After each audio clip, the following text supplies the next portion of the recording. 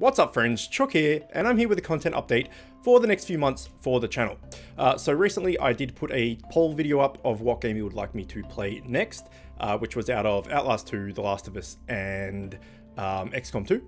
And that was fairly even, actually. Um, it was a lot more even than I thought. Um, XCOM 2 was the least preferred, but it was still in with a fighting chance. So they were all fairly popular.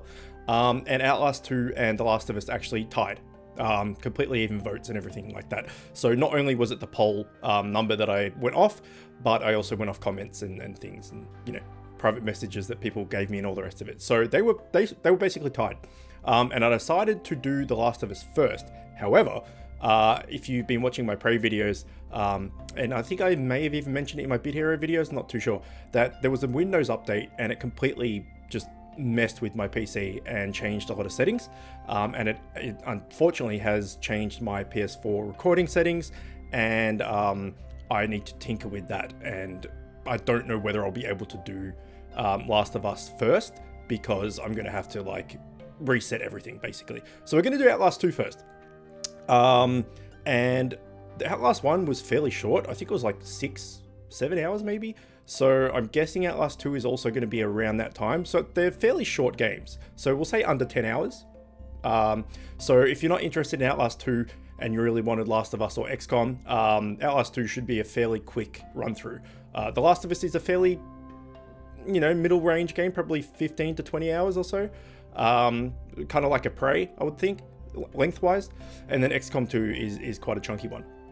Uh, we will also be doing Bit Heroes throughout all of that. Um, there'll be two two episodes of Bit Heroes at least a week. The Thursday capture rate and the Sunday item find.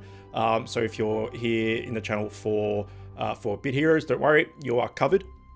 And then the only other thing that might crop up is, uh, well, that will crop up, I should say, is um, Monster Hunter World PC release date was announced to be um, August 9th, I think it was.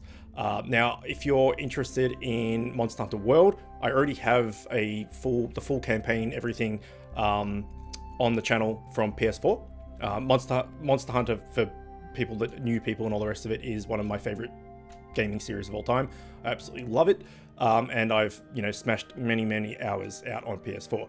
But uh, the majority of my um, close gaming friends are on PC, and so I'm going to be getting it on PC and playing that with them. Uh, I won't be doing the whole campaign all over again because I've already done it, so I'll just be recording like some fun hunts and you know multiplayer shenanigans and stuff with friends and laughing and joking and all that sort of stuff. So there'll be a few hunts thrown in around as well. So that's it for the next few months. Constant Bit Heroes twice a week. Uh, we'll start with Outlast 2. While I'm doing Outlast 2, I'll fix my PS4 settings so that I can do The Last of Us straight after. And then after The Last of Us is done, we will do XCOM 2. And hopefully I can get the XCOM 2 um, expansion by then, which is, it's kind of like a reimagining of the campaign with extra stuff in it. So it'd be good because I haven't done that. Um, and that will be our XCOM 2 coverage. So that should take a few months. Um, so if that all sounds good to you guys, awesome. Um, if there's something in there that you really, really don't want to see, like if you're just not interested in Monster Hunter World at all, or you're really not interested in XCOM, uh, XCOM 2 at all, whatever, I can definitely cut them out and replace it with something else. But um, that's the plan, I believe. So that's it. Uh, also, if you are um, interested in playing Monster Hunter World on PC with me, uh, let me know, and we can definitely hook that up. I, I think it's coming out on Steam, so we can, um, you know, get a Steam party going and, and all the rest of it. should be good. All right, well that's it. As always, thanks for watching, and I will see you next time.